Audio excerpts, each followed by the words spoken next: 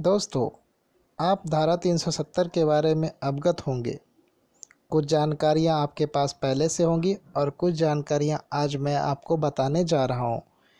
आप धारा 370 के बारे में न्यूज़ में या अखबारों में सुनते होंगे, अखबारों में देखते होंगे कि इसे समाप्त कर रहे हैं। भारत सरकार से मांग की जा रही है बार बार आंदोलन होता है। यहाँ तक कि फेसबुक व्हाट्सएप और ट्विटर पर भी धारा 370 के बारे में बार बार चर्चाएँ होती है। तो आइए चलते हैं, उसे जानते हैं कि धारा 370 आखिरकार है क्या? धारा 370 धारा 370 जो है, उसके अनुसार से जम्मू कश्मीर को एक विशेष राज्य का दर्जा प्राप्त है और संसद को जम्मू कश्मीर के कुछ मामलों में रक्षा, विदेश मामले संचार के विषयों में कानून बनाने का अधिकार है, लेकिन इसके अलावा जो है, कुछ विषयों पर जो है इस पर कानून बनाने का अधिकार नहीं है। उसके लिए राज्य सरकार से अनुमति लेनी पड़ती है। केंद्र सरकार को राज्य सरकार से अनुमोदन मिलना आवश्यक है। अगर अनुमोदन नहीं मिलेगा तो वह जो है, नहीं बना सकता है।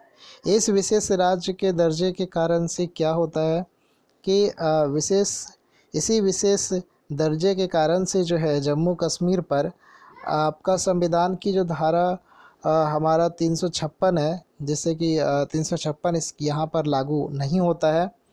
आ, इसका और भी बहुत सारे हैं जैसे कि यहाँ पर राष्ट्रपति जो है यहाँ के संविधान को बर्खास्त करने का अधिकार नहीं है।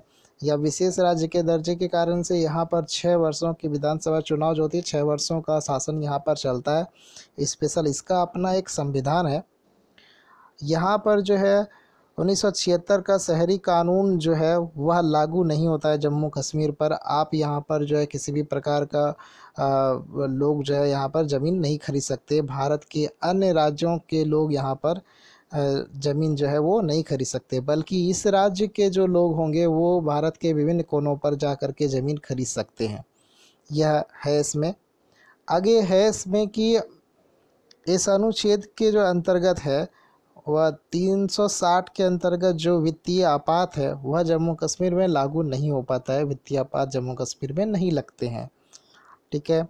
अगला जो इसका महत्वपूर्ण बातें हैं यहाँ पे कि जम्मू कश्मीर राज्य का जो विलय हुआ था विलय का जो कारण है, ज़्यादा बड़ी ज़रूरत थी उस समय कि धारा 370 से जो है जनता के उस समय भावनाओं को ध्यान में रखकर जो है इस चीज़ को अंजाम दिया गया था और इसके बारे में किया गया था। लेकिन यह एक ये नहीं है कि यह अस्थाई है या अस्थाई है, इसे बदला जा सकता है।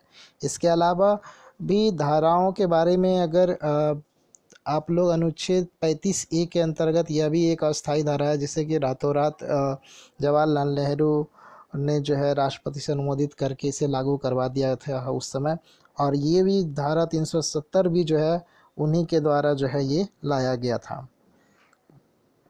चूँकि मैच्योरिटी में थे तो कुछ भी लागू किया जा सकता था उनके दबाव में। अब इसकी विशेष, विशेषताओं को भी देख लेते हैं कि इसकी, इस अधिकार की क्या विशेषता है। जम्मू कश्मीर, जैसे ही ये धारा लागू होती है, तैसे ही यहाँ के नागरिकों को दोहरी नागरिकता मिल जाती है। मतलब एक तो जम्मू कश्मीर राज्य की नागरिकता तो इसको है ही, लेकिन भारत के अन्य, भारत की भी नागरिकता इसको प्राप्त है। एक तो जम्मू कश्मीर की नागरिकता और दूसरी भारत की नागरिकता। इसके कारण से यहाँ पर क्या होता है कि जम्मू कश्मीर का जो राष्ट्रीय ध्वज है, वह भी अलग है। यानी कि यहाँ पर दो राष्ट्रीय यहाँ पर ध्वज जो है ना, वो दो रहते हैं। एक जम्मू कश्मीर का खुद का, एक भारत का वहाँ पर रहता है। जम्मू कश्मीर का जो विधानसभा का जो कार्यकाल है छः वर्षों का इस कारण से हो जाता है। और यहाँ पर पाँच वर्षों, जबकि अन्य राज्यों में, बिहार के, भारत के अन्य राज्यों में जो है ये कितना है छः वर्ष को। एग्ज़ाम्पल के लिए बिहार का, दिल्ली का या किसी भी राज्य का ले सकते हैं, लेकिन यहाँ पर छः वर्ष का होता है और सब राज्यों में पाँच वर्षों का होता है। इस विशेषता के कारण से, प्रभाव के कारण से ऐसा हो गया है।